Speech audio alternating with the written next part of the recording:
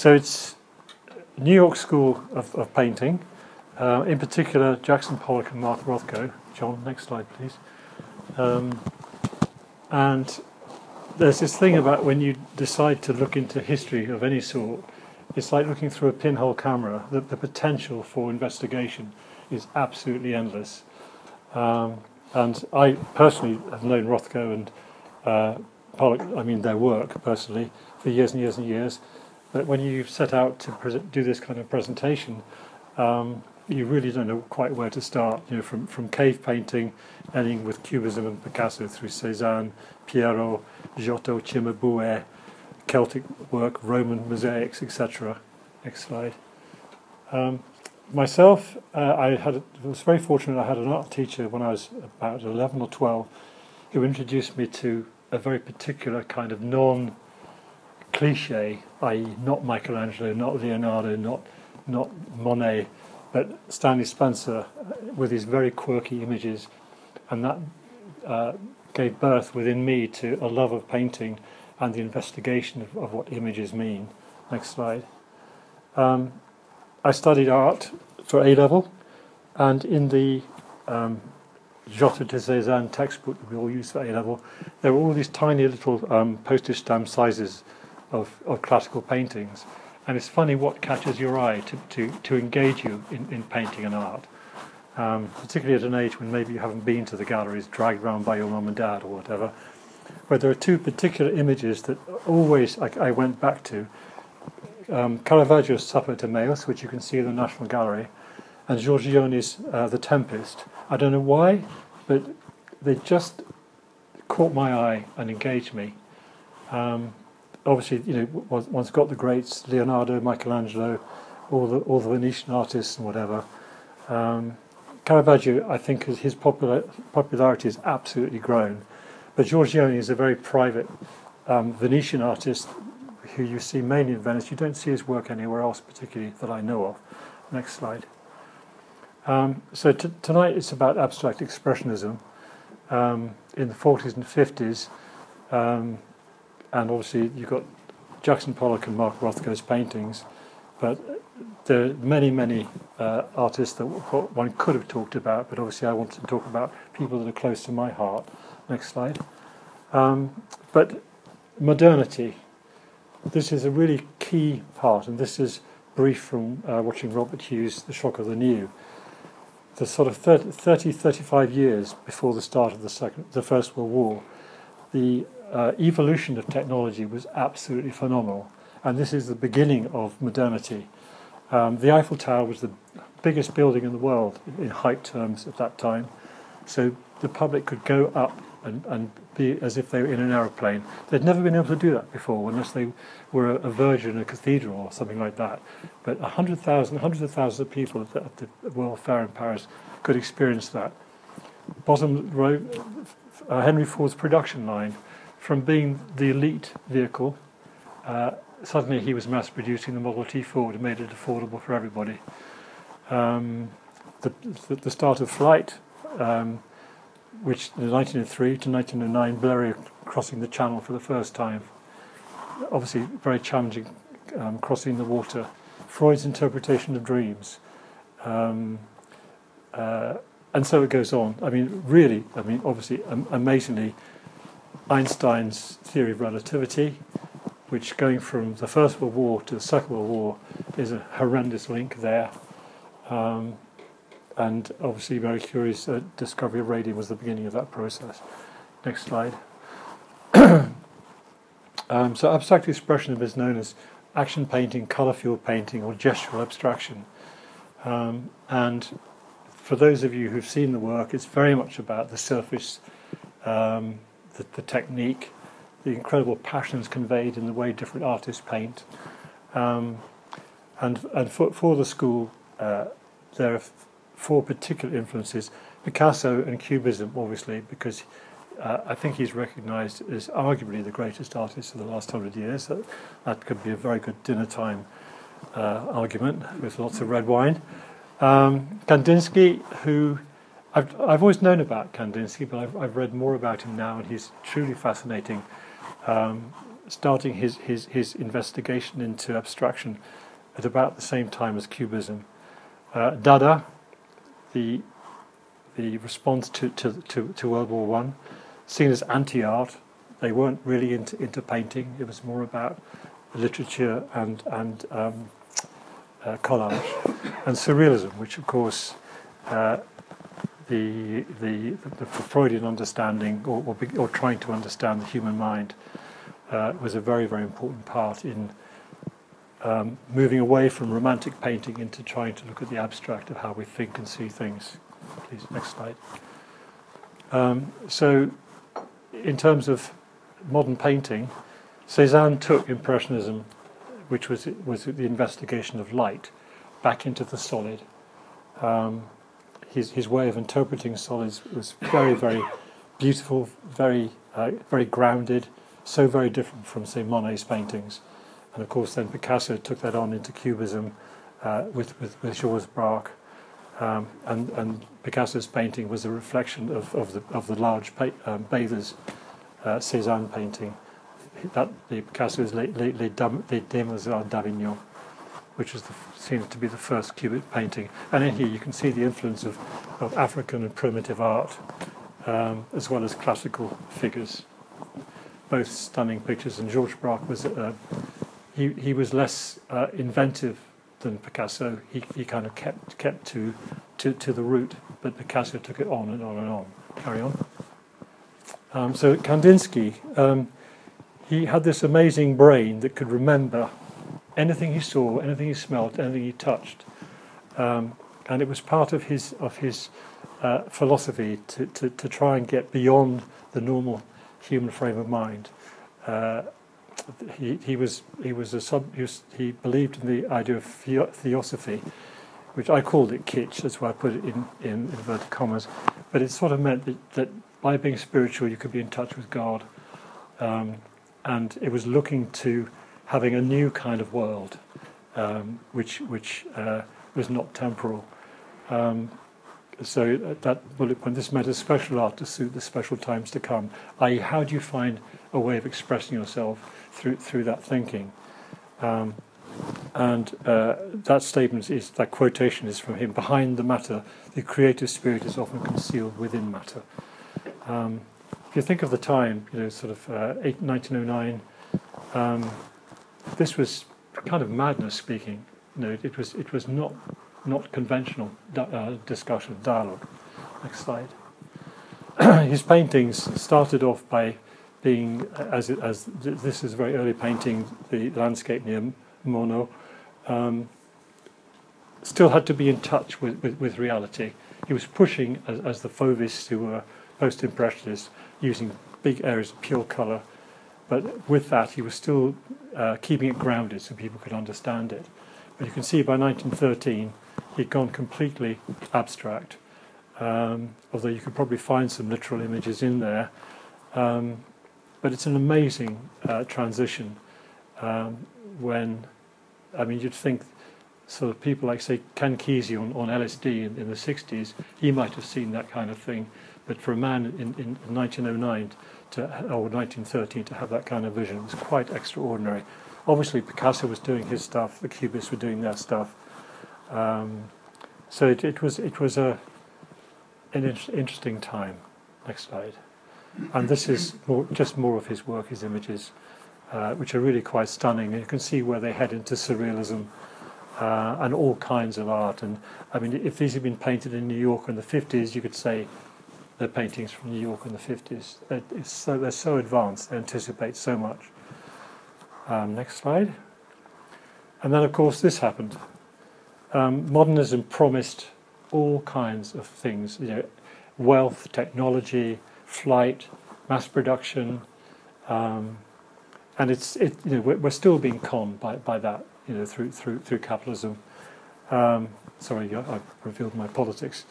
Um, but I don't know whether any of you have been to, to, to the war graves in, in, in France. Uh, I went for the first time last summer, and they are truly shocking.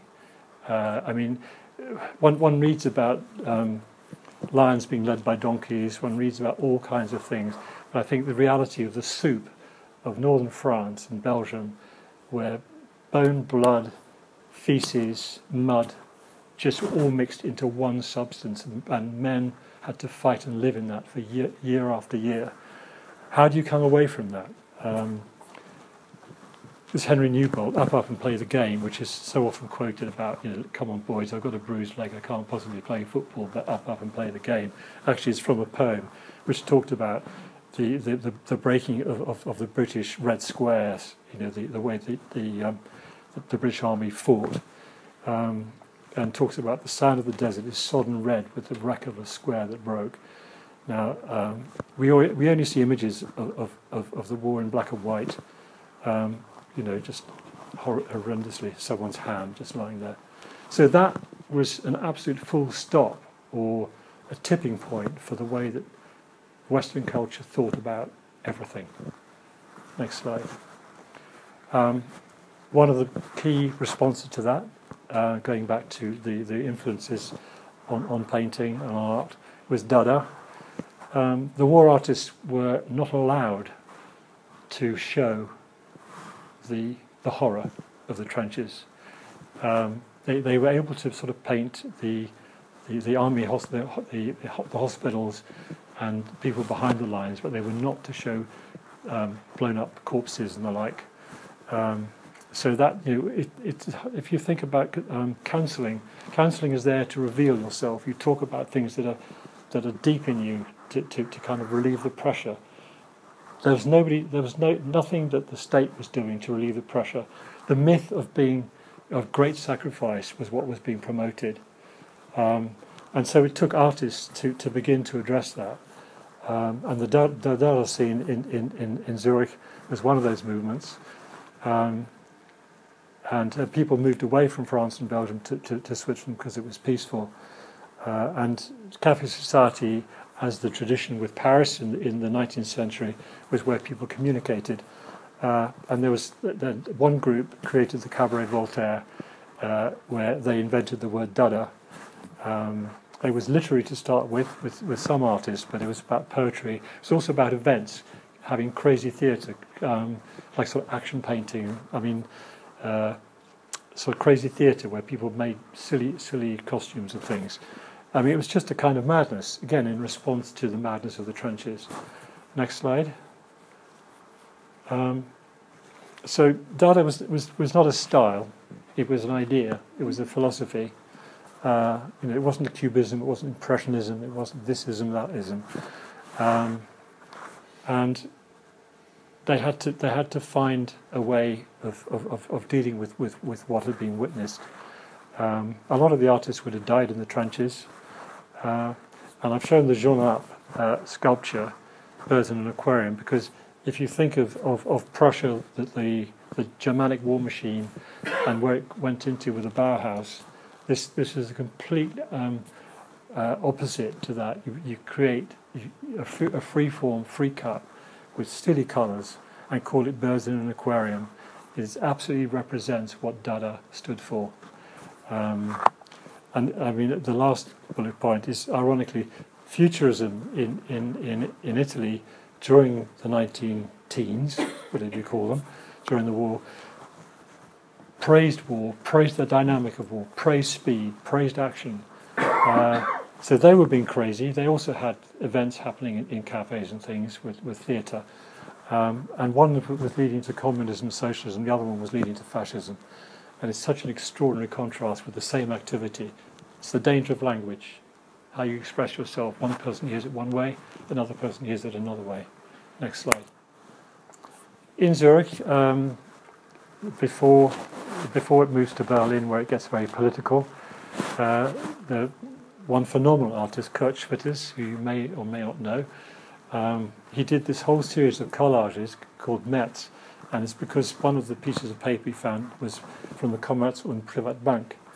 Uh, and these are quite small pieces, but they're absolutely, dare I use the word divine, Brian Sewell like darling. Um, but they are phenomenal uh, images of uh, abstract images of just found bits of paper which he arranges on a page and, and makes makes art from them. He ended up living in the Lake District in England um, after uh, sometime in the 20s and 30s, I think. Um, but funnily enough, 20 years before this, Van Gogh had seen a rubbish dump in Paris, and he wrote to his brother just saying he's seen the most amazing dynamic thing. Um, I mean, he's a genius, and he anticipated this in a funny way by writing about you know, the, the, the, chaos, the anarchy of something like a rubbish dump. And of course, Marcel Duchamp, uh, we all know his fountain, which is the uh, bidet side-arm nut. Um, but um, this was his version or his, his abuse of, of the Mona Lisa. Now, if you say that uh, in French, uh, uh, le, le, le, I'm trying to, I can't get the pronunciation. How does it go? Exactly. She got a hot ass, translated. It's wonderful. Next slide. Um, so they moved to Berlin. Germany was a very violent place after the war. They'd lost the war in Versailles, they'd lost the war in the trenches. The, the, the, the conflict between left and right was violent political assassination. Uh, they basically the, the, the, left the left wanted a, a revolution like Russia, um, and you know that, that, line with, with with that sort of political heat, dropping bits of paper from bus tickets and things maybe wasn't quite the way to be expressing your, your passion, your anger. Um, so uh, it became a different movement in, in, in, Berlin. Um, and again, that, that quotation, life appears as a simultaneous muddle of noises, colours, and spiritual rhythms, which is taken unmodified with all the sensational screams and fevers of its reckless, everyday psyche, and will, all, uh, and will all its beautiful reality the great rebellion of artistic movements. Um, that kind of sums up the chaos that they saw in German society at that time. Next slide. Um, they used collage. Uh, they didn't see painting as, as, as, a, as, a, vehicle to convey their political thinking. Uh, the Max Ernst murdering aeroplane is quite extraordinary. It's a sort of flattened French landscape of, of the trenches with a small group of soldiers maybe being strafed by, by the aeroplane. And the aeroplane, this modified thing, has the torso of a woman forming the main body. I mean, the irony of that is just extraordinary. I mean, su- such a creative image. Uh, uh, it's, it's really fantastic. John Heartfield was probably the most political of the Dadaists. He dealt purely in, in, in, in collage.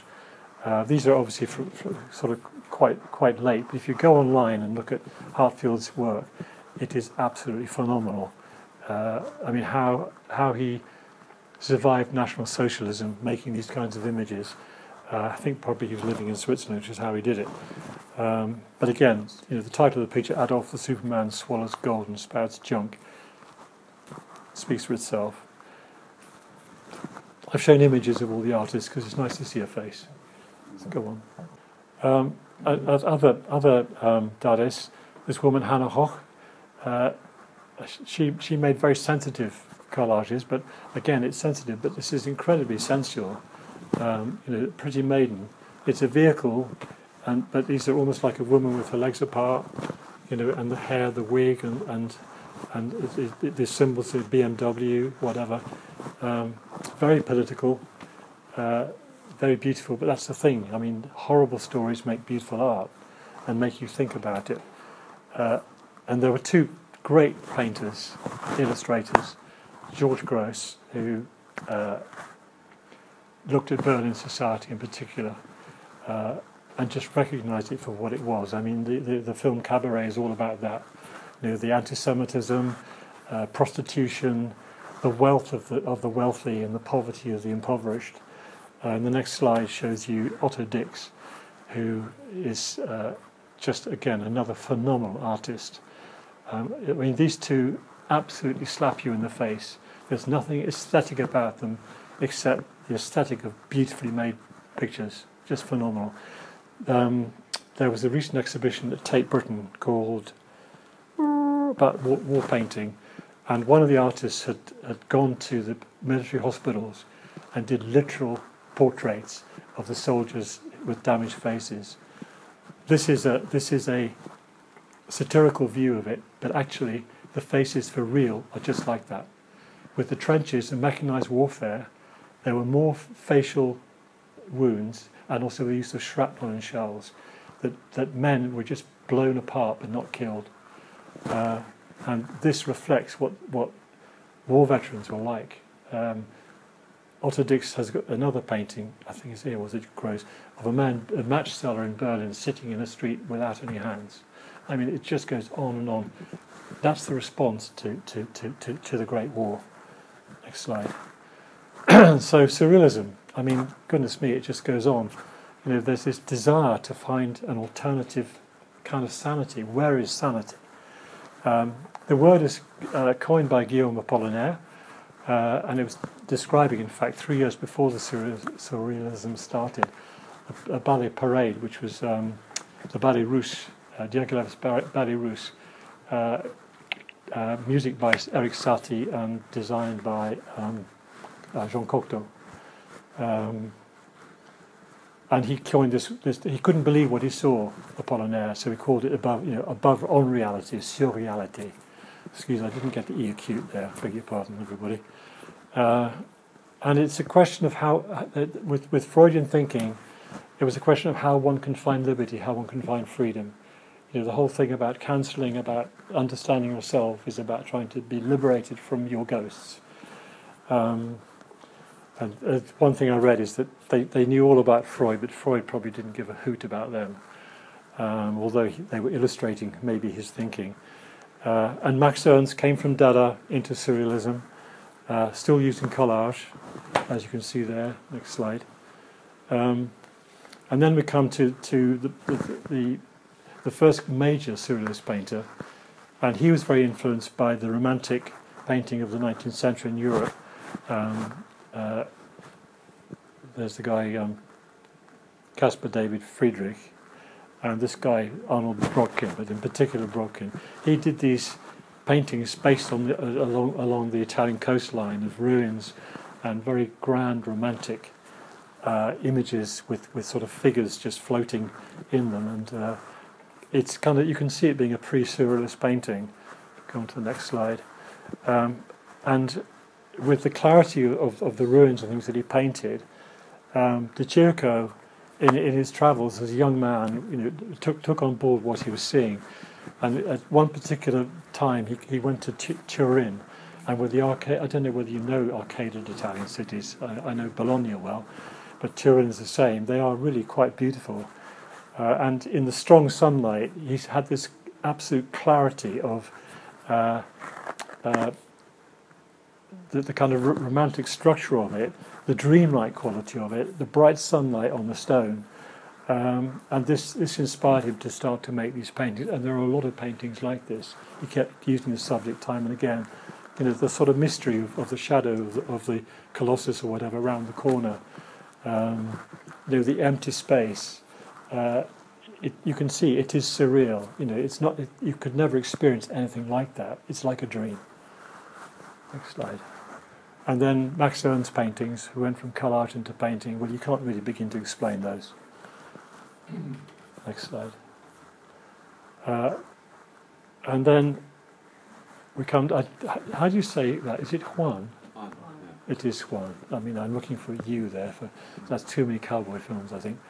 Uh, Juan Miro, um, who just, his, his work again, when you begin to look at it, as I've done in preparing this talk, we all know our different surrealists. You know, Dali. You know, we all know Dali, Derrida. Um, but this guy is is phenomenal in his anticipation of of of um, of what was going to be developed in, in New York. Carry on. Um, this, these are early paintings of his. He he grew up in in uh, in, he's a, well, in Catalonia. Is it Catalonia? And funnily enough, he was so powerful, he's a bit like Picasso, he was so powerful that the surrealists joined him rather than him joining them. Uh, this is a very early painting of the farm where he grew up, and then you can just see a couple of years later, it's a similar subject, uh, but just where, where his mind is taking his work. The paintings begin to be very flat, begin to have uh, no, no, particular light source, uh, and this takes this begins to take you in, into where abstract expression expressionism got to. Carry on. Um, again, just some of his fabulous paintings. I mean, they're they're mysterious, they're joyful, they're colourful. Um, I mean, it's you know, it's interesting ways using drip drip paint there, which obviously uh, Pollock came to many many years later. And so we go to New York. Um, next slide. Abstract expression just covers such a wide range of artists, like any movement. Everyone's an individual. Um, here they've got um, de Kooning's not, not so abstract figurative paintings, which are, I don't know if you've ever seen these, but they're quite phenomenal. They're all very big canvases. And Barnett Newman, who has the most sublime, um, not always monochromatic, but very, very simple, rigid geometry, very long pa- paintings. Um, next slide. Uh, yeah, the, the one of the things about abstract expressionism uh, is, is that it, it challenged the idea of, of a framed European painting. Um, and in particular, the word synthetic cubism is used, and that's, that's the sort of um, high cubism after all the, all the busyness of, of it being created got to a very simple analysis of, of plane, of surface, uh, with Picasso's drawings, uh, his drawing as he made a painting. Um, and uh, the, the, between that and, and, and, and the surreal idea of, of, of getting into the psyche, began to open the doors for, for, for the uh, expressions to think about their own way of painting. Next slide.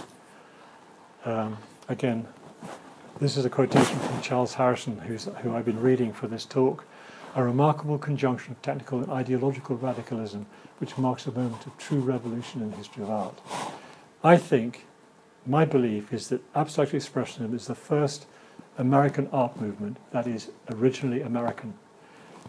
From the end of the 19th century right through until the beginning of abstract expressionism, the Americans were looking to Europe to compete with Europe they weren't better than, they weren't different from. Um, and I think that's a completely astute comment.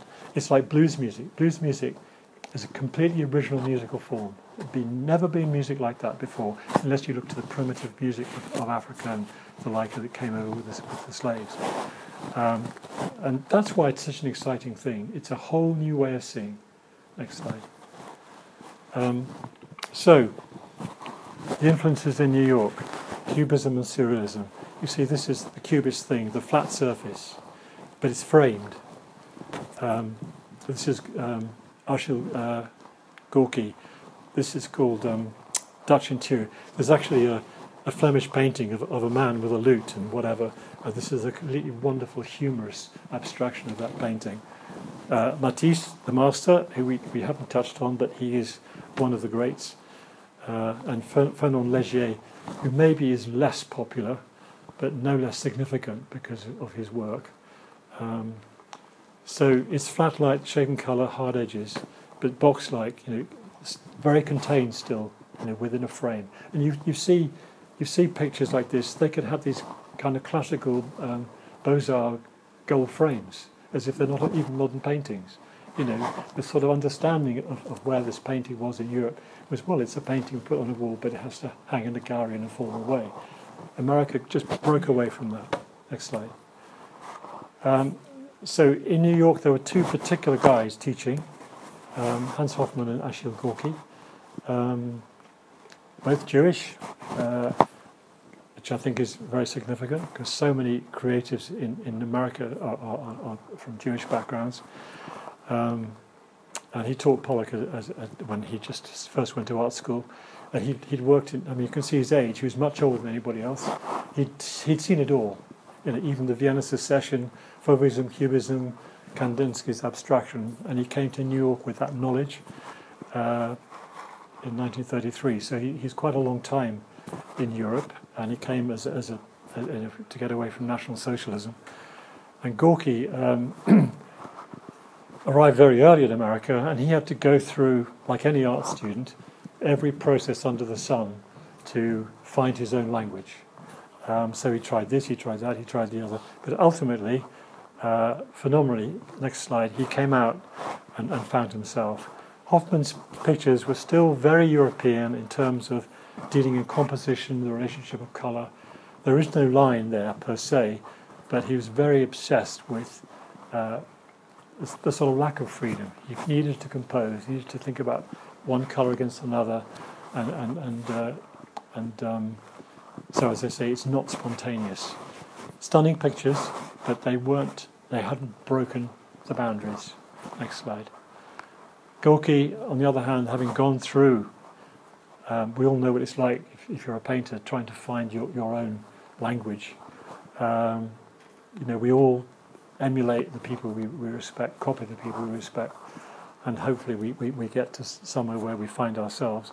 These pictures reflect uh, that, I think, very well um, and lead very well in, into the kind of um, sort of surrealist pictures the early abstract expressionists painted. Next, next slide. So we come come to the guys themselves. It's, been a long intro, but for me, very important to get the context. Um, Pollock was, was born in, in, in, in southwest uh, states of America, came to New York when he was 30 because his two older brothers were painters who'd come to New York. Um, so he arrived, uh, whatever age he was, 22, was it? I don't know. What's, what's my maths doing? 28. Um, and Rothko was born in, born in, in Latvia, um, called Marcus Roth, Roth, Rothkowitz. Uh, and he changed his name down to Mark Rothko because he was concerned about anti Semitism, which is a bit, a bit ironic. It reflects the time, but um, uh, the USA was the one place that opened its arms to, to the Jews. Um, you know, they were expelled from every bloody country in Europe, exterminated, persecuted, and whatever. Um, and it, the reason why there's the relationship between America and, and Israel today is that initial initial opening of the doors to, to them as, as a race, as a faith. Um, so you, you kind of wonder about that. Obviously, it wasn't conveyed. Um, uh, Pollock died in a road accident. He was an alcoholic.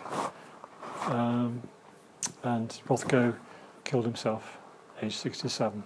Next slide. So when Pollock got to New York, he, he was fascinated, obviously, with, with the galleries, the old masters he could see. Um, and uh, we all have to start somewhere. He worked with, with the Latin American uh, muralists, learning a lot about paint and painting technique and the like. Um, I have got an illustration of their work, but this is an early Rothko. You can see it's it's kind of it's a bit Samuel Palmerish if you know Samuel Palmer. You know the the, the moon, the sky, the the, the deers is quite sort of bucolic, um, but quite dark as well. Um, and it, he was several things happened. Uh, he he ran out of ran out of, money and work, and he he. he he, he was taken on by the work, the Progress Administration's Federal Art Project, works program, known as the WPA. Now in blues music, there's a lot of reference to WPA because it was a way of it was the Roosevelt New Deal, providing labour for people of all different skills.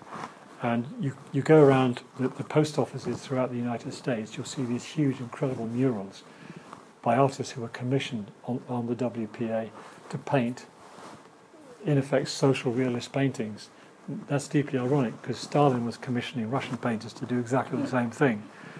Uh, so it's pure propaganda. You know, America the free, land of the free, da da da da. They were doing just the same thing. They were trying to tell people how great we are by by these, these public paintings. Um, he's also having Jungian psychoanalysis, uh, and that's about the, the Jungian psych- psychology is about the ego, the personal unconsciousness, the collective unco- unconsciousness. I, I am what I am, I am what I am, but I don't know what I am, and society is what it is, and it doesn't know what it is. Uh, it's a real fuck up, excuse me. But you know, it's that kind of understanding the mess, the melting pot of our psyche and what we are. Next slide. Um, he's very influenced by, by Native American painting. Um, it's extraordinary that picture because it, it's a bit like an altarpiece. Um, again, you can feel him trying to find his way, the marks he's making, the wildness of it. You can feel he's trying to find his way. Um, but in 43, he meets Hans Hofmann, uh, who's been teaching in New York for 10 years by that time. Uh, and the WPA ends, so he has to find work, and he gets a job at the Museum of Non-Objective Painting, which was the, the, early days of the Guggenheim Gallery. So he got to know Peggy Guggenheim, um, and he also had his first solo exhibition that year. Uh, and the Guggenheim uh, meeting led to uh, the next picture, which is next slide, um, which is the mural. Now, because I've taken images off, off Google and, and whatever, uh, the large paintings aren't, aren't, very clear. So with all these pictures, I've, I've, I've actually from a, a book on Rothko, I've taken this image, which is better from my camera, from my telephone camera, and shown the subject of, of, of the main work. But this was uh, commissioned for her hallway in her apartment. And Duchamp said to Peggy that she, he should paint it on canvas, not on the wall, because it's more flexible. You can move it. It has value, it can be sold, I guess. Um, so this was his first big painting, his first big statement of, of, his, new, of his new self. Next slide. Um, now, this is in the context, obviously, of uh, Picasso uh, and, and, and, the, and the Cubist influence. Um, so, in that quotation, is there's an overlaying compatibility between the consequences of the persistent Cubist influence and the consequences of involvement in surrealist strategies for freeing conscious control over procedures of composition, i.e., you've got to find this from within yourself don't look at it and compose it. Feel it here and, and, make, make a picture. Next slide. Um, so this is, these are the um, rings of the tree, if you like, between an early Rothko 42, similar to the one you saw before, through the mural. Uh, another picture which is quite structured to the beginnings of, of, of the sort of drip painting Sounds in the Grass, which was a whole series of, of pictures. Uh, but you can see incredible change over, over four years. Next slide. This is the man. Um, interesting reading about, about him. If you, if you paint on canvas, you have a brush, and you can see in some old paintings after they're quite long brushes and whatever, but with this need for space, this need to express yourself, and Ian McKeever talked about this three weeks ago when he was here as well. He starts his paintings on the floor, his big pictures. Um, and the expression to describe Rothko that I've used is swings from the hips. He needs the whole body movement to find the way to, to, to, to, to, to, to throw the paint, to lay the paint onto the canvas. Um, and you can see it's a whole different expression um, between something which is very tight and, and constrained to something which is completely expressive. Next slide. So again, um, we're kind of getting to the end of end of Pollock, but just look at a, a number of images of his. Um, these, these run in date sequence, but just the, the, the phenomenal depth of these pictures. I mean, they are overwhelming when you see them, the, the big paintings, because you're probably in a gallery situation, a lot of people around you. Uh, and Rothko talks about this relationship between the, you know, the spectator and, and, the painting. If you're being jostled by 15 or 20 people looking at one picture, how do you get into it? And believe me, if you have the chance to see a Rothko, look at it close up and look at it from far away. If you look at a Monet, look at it close up and look at it far away. It's the same relationship between the intimacy and, and the general. Carry on. Again, uh, Full Fathom 5, what a fantastic name for a painting. All on the canvas with nails, tacks, buttons, key, coins, cigarettes, matches, etc. I didn't try and find them, but uh, but you can see the, the, the dynamic. I don't know if you find these beautiful. I find them absolutely stunning. Carry on. Next one. Just incredible. You know, chance is a big thing, you know, as we said. I mean, the, the, the, way you throw, the way you make a mark, you pick up the grey paint, the, the, the, orange paint, the yellow paint? Uh, is, you know, how much do you cover the canvas? A lot of his a lot of his drip paintings, there's hardly any marks. It's just raw, raw canvas with just a few, like a sketch. Um, Tracey Emin does drawings like that. Tracey Emin does stitch, stitch drawings where she uses needlework to draw a nude, and it's very similar. I mean, the links in art, as I said, it's like looking through a keyhole. Where does it begin? Where does it end? It just goes on forever. The relationships. carry on. Breathtaking. Next one. I think this is the last slide. Croaking movement. This is, to my mind, of, of the images I've chosen, maybe the least successful, but that's my my subjectivity. Um, you can see the, you know, the use of sticks and whatever to, to scrape the paint It's very, very thick. But if you look at people like Frank Auerbach and Bomberg, you begin to see where artists can build layer and layer and layer of paint and, and make it work by pushing the paint around the surface. Next one. Five. This is stunning. Blue poles. Again, it's just mind blowing. Next one. So, goodbye to Jackson. Hello to Mark. Um, on we go. 836 paintings on canvas, an unbelievable amount of work. Um, and that quote, he's painted a gulf, connect with, and transport the viewer to another realm, another dimension, freeing the spirit from the confines of everyday stress. You might think it's hooey, I don't. Uh, I've seen a lot of Rothko exhibitions and I've never been disappointed. I always come away energized. They're just fantastic. Next slide.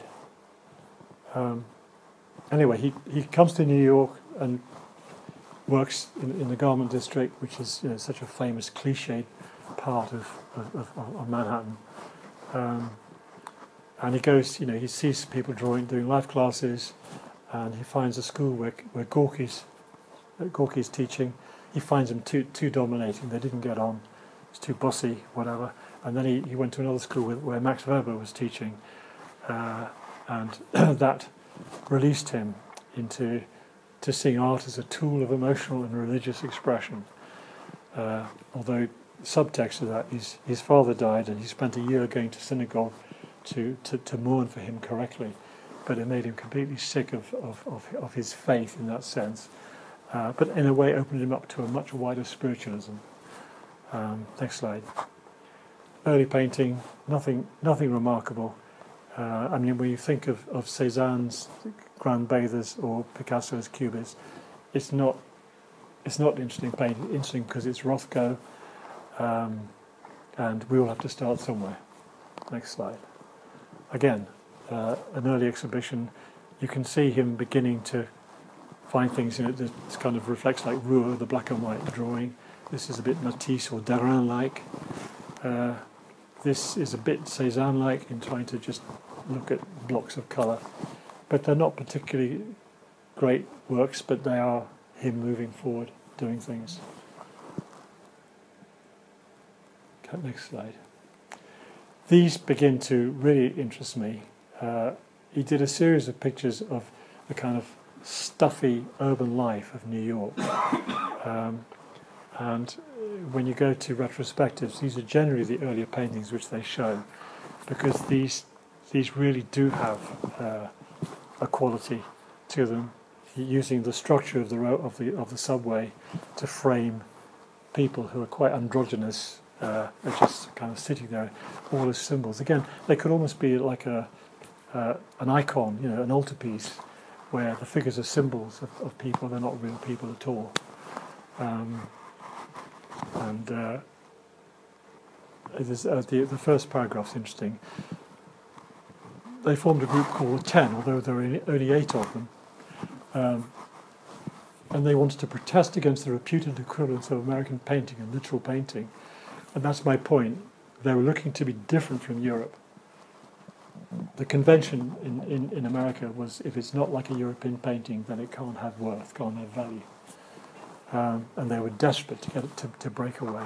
Next slide. So they've, you know, again, trying different things, just like Gorky, surrealism. It doesn't, it, it, it, doesn't bear looking at, except it's, it, it's, it's, it's one step further on through the process of his thinking.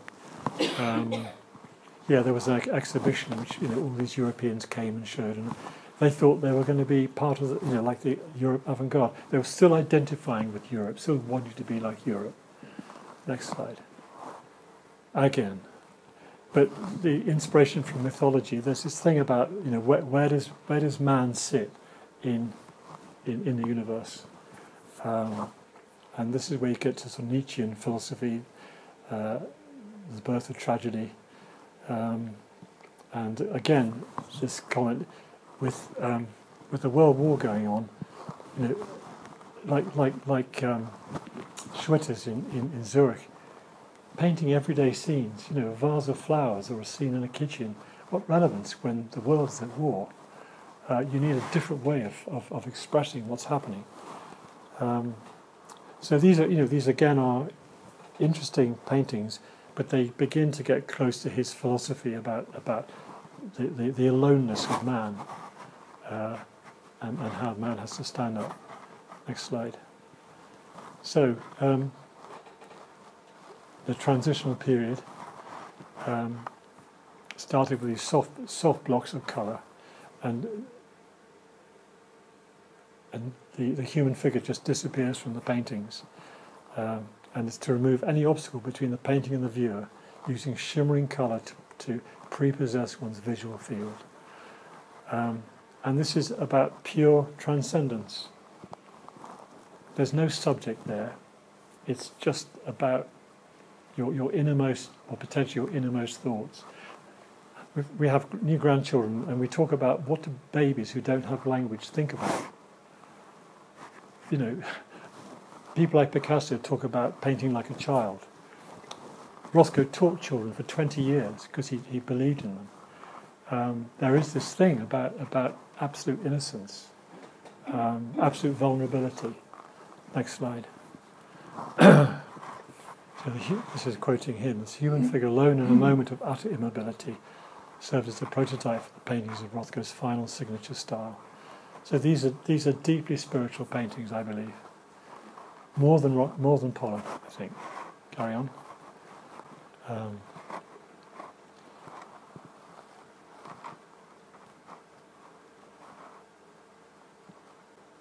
So that kind of speaks for itself. Carry on. And again, he, he went from bright, vibrant colours. this is just what I've read to the darker blues and green tones, probably as a growing dissatisfaction with his personal life. Um, so there goes my statement about the innocence of, of, of his mental state. Um, but we all know from music and music we listen to, we're happy, we're sad, we're in love, we've fallen out of love yeah, you're going to do something which responds to that that state. Next slide. Um, so I've just taken details of, of the paintings just to look at almost as if you're in a gallery. If you have a chance to, to see Rothko, um, they, they can be very dark or they can be very joyful and very light. But every time you need to look close and, and look at them far away because they, they have so much in them. Um, this is a statement about in, in using thin, thin layers of, of, pigment onto the, directly onto the canvas. Uh, and it just makes up these translucent layers. The reason why they're thin is that it lets you see the layer beneath, beneath the uppermost layer. Um, the forms consist purely of colour. There's no drawing there per se. There's no line, um, and there's no frame. So again, conceptually, you can you can look at the painting beyond the frame. Next slide. Again, just phenomenal. Um, I guess one, one com- comparison that comes to mind is say stained glass in, in Gothic cathedrals in France, where you know, there's very very dark blues that hardly let the light through. Um, things that just just speak on on a, on a, on a non-literal plane, just fantastic. Next slide. Um, I wrote that. you know, they, they, encourage contemplation and meditative state. Um, they really do have this ability to, to draw you in. Um, you look at, look at the sort of depth in that line. You're, you're looking through to infinity there between these, these two, two um, blocks of paint. Quite incredible. Um, but it's a flat plane, but it has depth, and that reflects one's psychology as well. There we go. Next slide. This is um, this is him speaking. The picture lives by companionship, expanding and quickening in the eyes of the sensitive observer. it dies by the same token. It is therefore risky to send it out into the world. How often it must be impaired by the eyes of the unfeeling and the cruelty of the impotent. He was incredibly possessive about his paintings, how they were hung, where they were hung. He took absolute control of, of that. Um, and as he says, he's not interested in the relationships between form and colour. The only thing I care about is basic emotions tragedy, ecstasy, destiny. Next slide. So he, he, he achieved incredible fame. He got three major commissions uh, the painting of the Four Seasons restaurant in the Seagram building, which was a Mies van der Rohe uh, modernist icon, iconic building in New York um, very significant building in the history of architecture. Uh, the Holyoke Center at Harvard University, which um, was just an important, very big commission. And then the paintings for the Rothko Chapel, where a building was commissioned uh, to hang his paintings. Next slide. Um, the Seagram, the Four Seasons restaurant. Um, that's a quotation. Anybody who will eat that kind of food for those kinds of prices will never look at the painting of mine he went to see the restaurant and was absolutely horrified. I don't know why he was surprised, it being Manhattan, horrified by the wealth, the splendour, uh, the indulgence of it. In his mind's eye, he thought he was painting for sort of a, a working man's cafe, or working person's cafe. Um, uh, and he was horrified by this. Next slide. Um, and his response, because he was still working on, on the commission, was he wanted to to base his pictures on the on the Laurentian Library um, foyer space in, in, in the li- for the library in, in Florence. And again, he, want, he, wanted, he wanted the rich bastards to feel they're trapped in a room where all the doors and windows are bricked up. I mean, that's a really good response for a painter to a site, or for a designer to a site. Or for, and this is the plan of, of that space.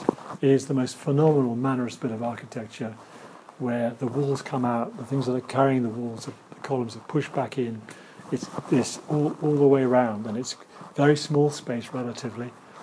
And then the library, when you go up the stairs through, is just this serene big space, classical space.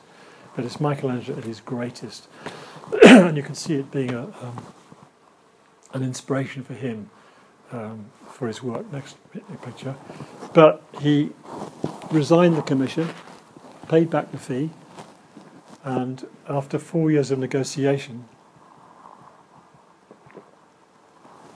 with the Tate Gallery, he gave, because he also loved Turner, he donated the pictures to, to the Tate Gallery in Britain.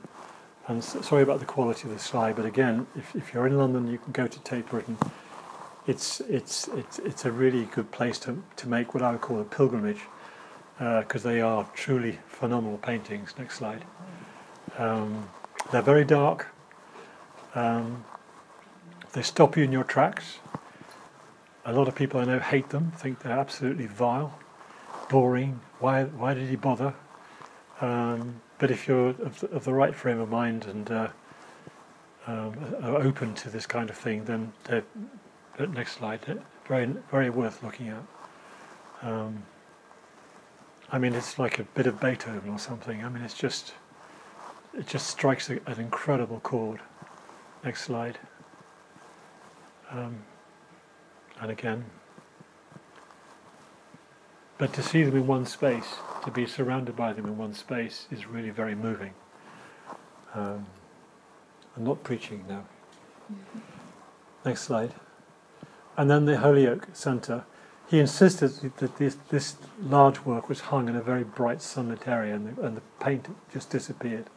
So um, Harvard now use a projector to project images on the wall of where the paintings are. Paintings are down in a cellar somewhere. So they, they, they've created the paintings with light.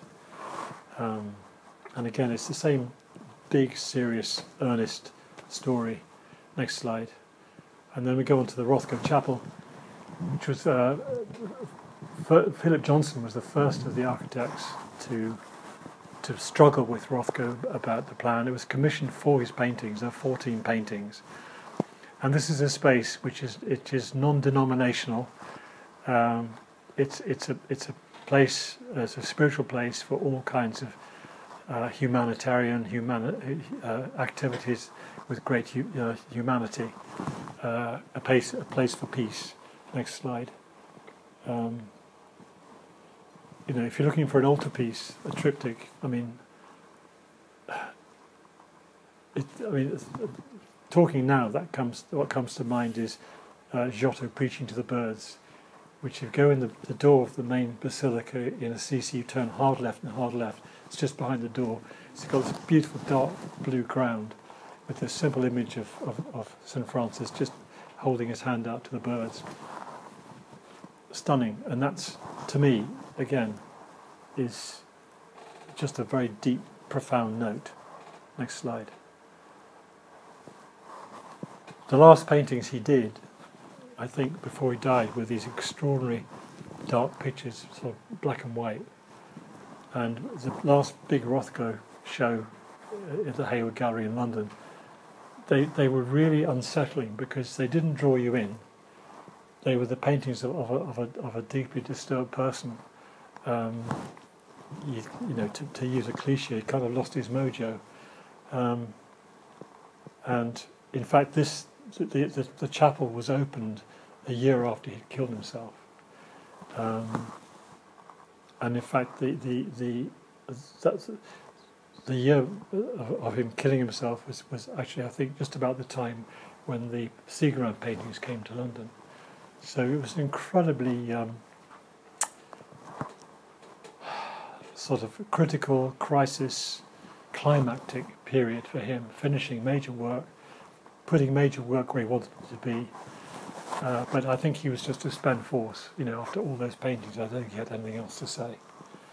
Next slide. So, to end on a lighter note, um, just the joyful paintings, the less serious, the less dark. Um, I think I think they're phenomenal. I mean, to, to have that many paintings from one artist is incredible. Um, huge arguments in the art world, Marlborough Fine Art, who thought they controlled all Rothko's paintings. Huge financial battle between the Rothko estate and Marlborough Fine Art um, to, for, for the estate to get to get ownership of his paintings back. Um, but I think I think at one time his pictures, one of his paintings, sold for forty-four million dollars, which at that time was a record in the auction rooms in America. So that's my story.